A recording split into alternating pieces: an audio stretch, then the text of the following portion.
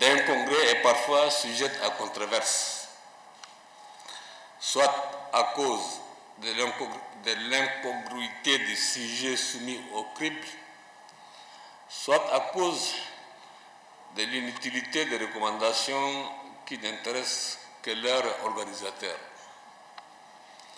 C'est arrivé et nous avons vu ici.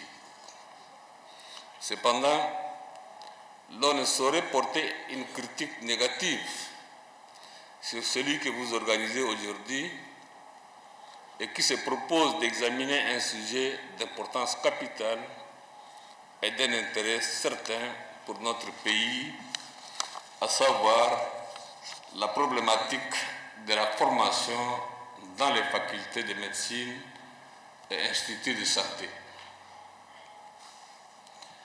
À ce sujet,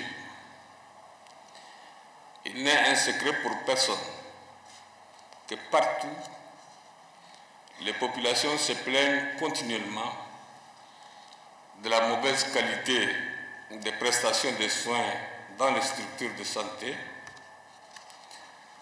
Et cette situation est-elle liée à la qualité de la formation reçue dans les facultés de médecine et des instituts de santé N'étant pas du domaine, je ne saurais y répondre. Vous, vous saurez le faire. Docteur Choukou, docteur Jim,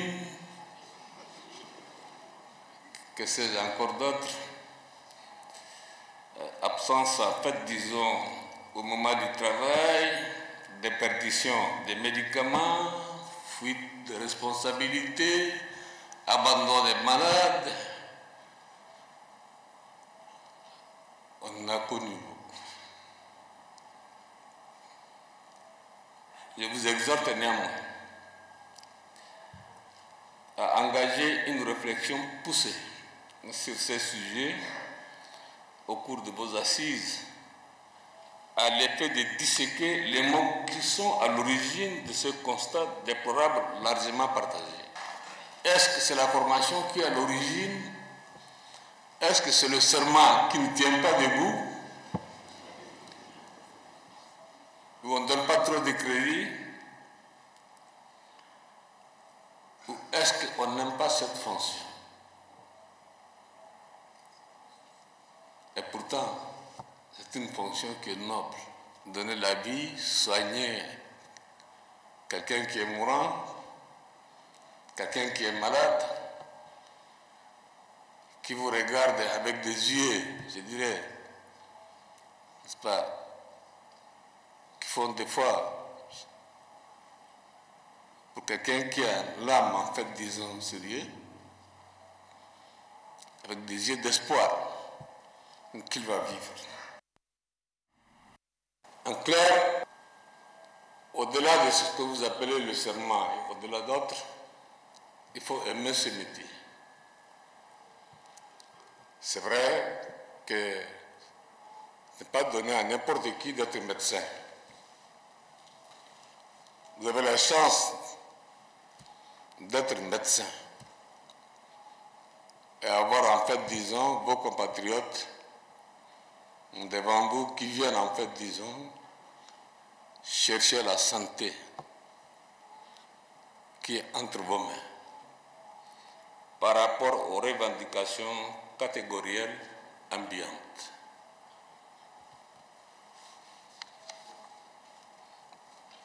Vous le savez très bien, moi je ne suis pas un médecin. Euh, dans ma formation professionnelle, je suis soldat, mais j'appartiens à une arme technique, armée de l'air. Je peux comprendre que je fasse grève au sol, mais pas en l'air.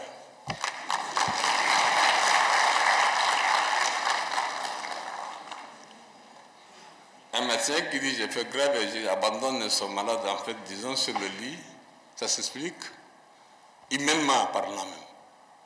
On a un cœur, non, je crois tous? Non.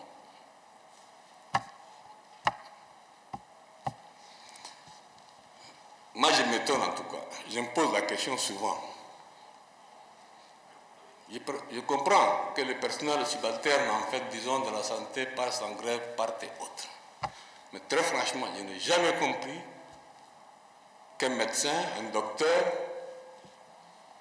abandonne en fait, disons, les malades et puis disent que sous prétexte de demander en fait, disons, plus autre, il y a d'autres moyens de s'expliquer. C'est des grands intellectuels et vous avez des responsabilités assez importantes. Donc, ces revendications catégorielles ambiantes ne doivent plus et ne doivent pas, en fait, disons, vous amener à abandonner vos frères, vos soeurs, vos cousins, vos tchadiens qui sont là, concitoyens, malades, et puis les abandonner et partir.